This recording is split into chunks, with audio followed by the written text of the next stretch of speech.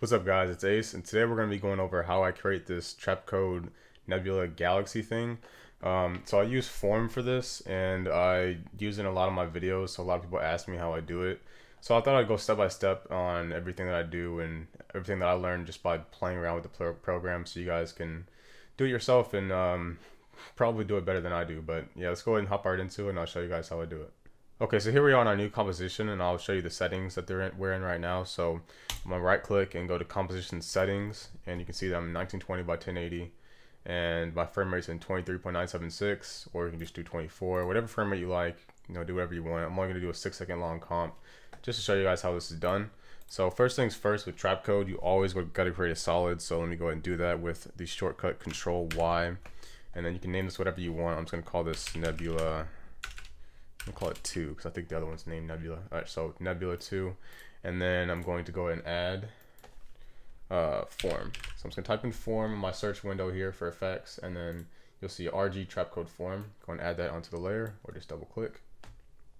With that add, there we go. So by default, we have this, which is useless. Absolutely nothing is happening. It's just a box.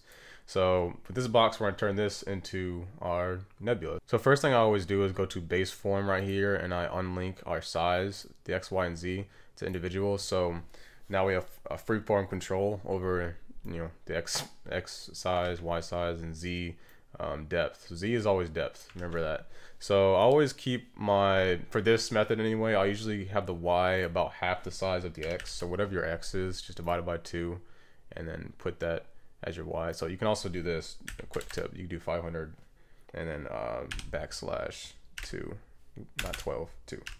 There we go, and it'll do the math for you in case you have some number that's like, you know, not easy to divide. So there you go. So I have this rectangular shape here.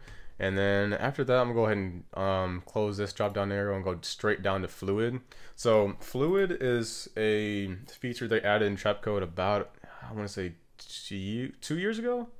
Yeah, a year to two years ago. So it's a very, very new simulation they added in, which allows you to turn the um, motion into fluid. So you can do some really, really interesting things. So you turn it on, and right at, right at the start, it does nothing. So like in frame one, you're gonna see no change. You have to scrub across your timeline. You'll see it start to react, and this is the default um, fluid motion they they put onto your layer. So First thing I'm going to do, going to go back to the beginning here. I'm going to change the fluid force. We're only going to use vortex tube for this method, vortex tube.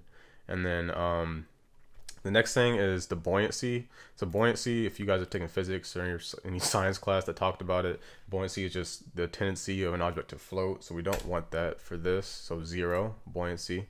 And then the random swirl, I'm going to increase the random swirl to, let's just go to 20 to start off and see how that does us. Uh, random swirl, um, let me well, let me turn it off first and you can see what I mean, what it does. So at zero, it, it, we look like this. And if I turn the swirl on to 20, we get this. So it starts to, you know, really start to look natural. And um, another thing you can do to make it look even more natural is close this one go down to um, global fluid controls right here. And you can change the simulation fidelity from 4 from the default to 10 now my typing is really bad today. So 10 so 10 means that your computer is going to do more calculations to decide how the particles move. So it's going to be a little more render intensive but you will get a little more realistic results. So um, from here I'll usually go back to the particle and change the settings there because I don't like uniform anything. Because I mean, if you're trying to replicate the real world, nothing is uniform, so you have to change. At least what I do, I always change the size random to 100%. So not every single particle is a different size. Okay. Um, also going to decrease the size a little bit. Uh, I'm gonna do 1.5, I think. I'll, I, usually like mine really small, but I'll just do 1.5 because hopefully that's still showing up on the screen for you guys. Um, so next thing I would do is go to the color and you have to be careful with this one um, really later on when you have like a high number of particles but um, always do the color either really early or I do a little trick to make sure it works correctly. But anyway, let's go ahead and do it now. So we, I would change the set color um, option to radial rather than solid color because radial allows you to adjust the colors over the, uh, let's go back to the beginning because you'll see this and that's pretty self-explanatory right there. So the center will be one color, Um, you can see it by opening this drop down arrow and make this a little bigger so I get more landscape here. Um, so you got the center red, next layer is yellow, green, light blue, blue. So it goes um, left to left to right is center to outer, and um, so from here I'm going to change my colors to the colors I usually like. I usually like my center to be white, um, and obviously do whatever colors you want, but um, this is just what I typically start out with and adjust over time as I work. Um, purple there, and then maybe like a pink. I use a lot of colors, a lot of colors. And I'll show you a couple uh, tips too to make sure um, you are navigating this correctly. Because I used to do this. I used to click on this on accident and add all these swatches, these little boxes that have the color in them are called swatches. Um, and you can't control Z. Uh, uh, can you?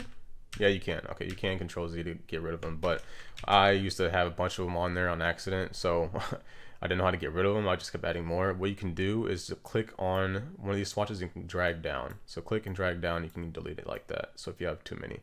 All right, so next is, actually that blue one's probably fine. I like blue, then maybe a red. I just like these random colors. And then have one more, I add a green, about there. And then I'm just gonna change this blue to a lighter blue. Yeah, that'll work. Uh, looks okay. So let me go ahead and zoom out here and drag along, see how this looks so far. It looks okay, maybe a little too much green. I'm just gonna adjust these, then I'm not gonna spend too much time on this part because it's kind of all preference. I'm just gonna throw another purple in here just for the heck of it. All right, let's move on. Okay, so from here, I would I would usually start to increase my particle count from here because now that the color is set, um, you shouldn't shouldn't get too many crashes. Because if you had the particle count um, sorry it's in yeah base form. In the base form you have the particles in x y and z. So you can adjust um, how many particles will show up in each dimension. So as you start to increase this if you have a lot on the screen and you, then you try to change the color it will it will probably crash your after effects so um, be very wary of that um, one more thing I'm gonna add, which is another thing that's kind of personal, not personal, but you know what I mean. It's um preference.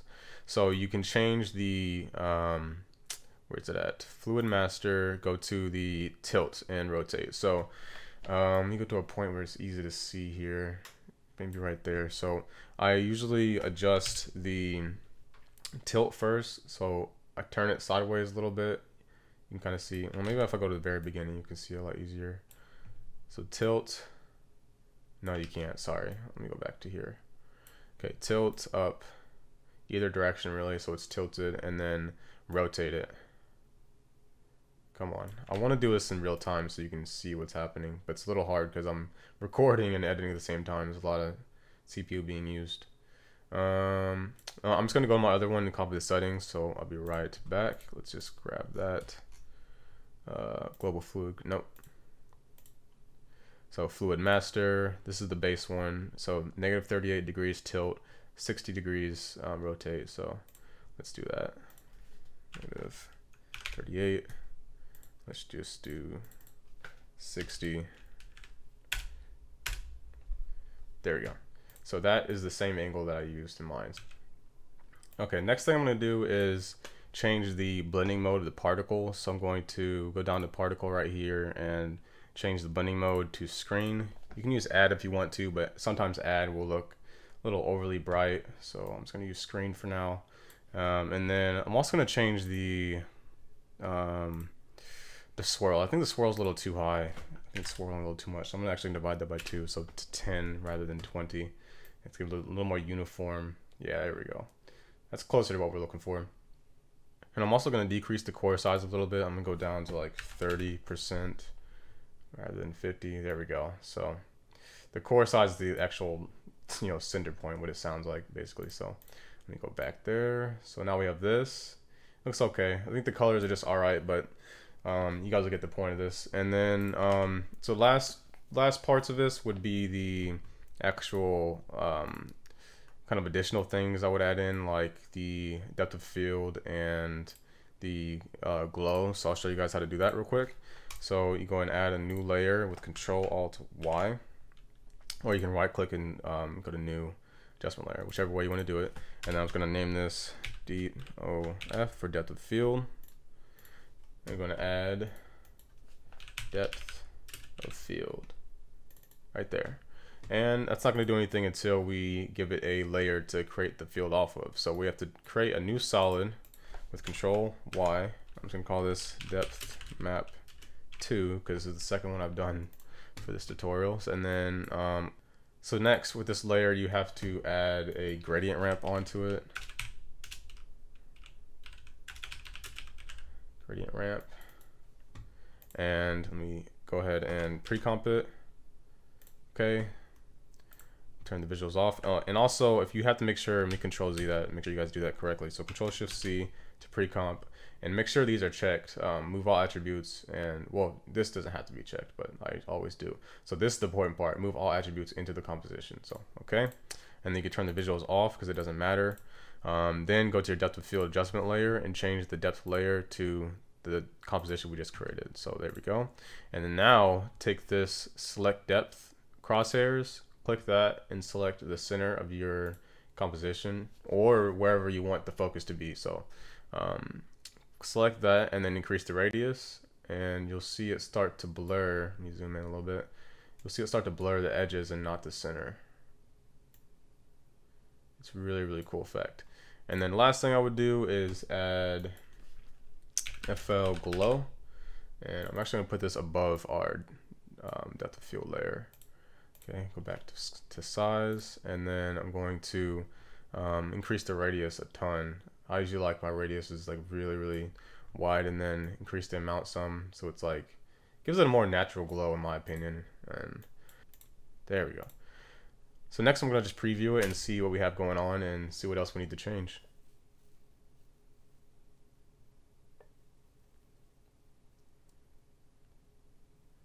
As you can see, this takes a while to render, so I wouldn't recommend this for someone with low PC specs. Like, uh, you're gonna have a headache with crashes and just taking it, it, taking forever. So, so here it is in real time. Uh, last thing I'm gonna show you is how to time remap it, because one, we don't want this, because who wants that on the screen? That looks terrible. So I'm just going to pre-comp our nebula, Control Shift C to pre-comp. I'm just gonna leave the name like that. It's fine. And then once you um, have done, done that, just click, um, and then I'm going to add time remap by pressing Control Alt T, and that'll add time remap. Or you can right click and go to time time remap. And then from here, I'm going to change this first keyframe. So this one right here, I'm going to increase the value, and I'm not just going to click and drag because you might lose a lot of, you know, you don't want to start here. So what I do is I control click because control will un- unironically will give you more control over the drag. It'll make it happen slower. So you have more fine adjustments that you can make. So i'm just going to start there. That should be fine. And then i'm going to select these keyframes. And another quick tip you can obviously you can click select keyframes like this or you can just click the effect itself and it'll select both keyframes for you. And then press f9 to um, easy ease the keyframes and then make sure you have the effect selected and go to the graph editor. And the graph edit that I always do, is I always start off with, I just grab this line here and just hold shift and pull all the way to the left. Every single time, that's what I do. So let's go ahead and preview that and see what it does. All right, and there we have it. So that pretty much does it for this tutorial. I know we're a little fast in some parts. You can go ahead and um, pause and take your time with it and I'm sure you guys will be able to create things much better than I can. So um, have fun with it and leave a comment down below and don't forget to like and subscribe if you really enjoyed and I'll try to do more of these. And for those of you that are interested in downloading this actual project file so you can see all the settings and adjust them in real time, I'll put the link down below for those of you that are interested and thanks guys and I'll see you next time.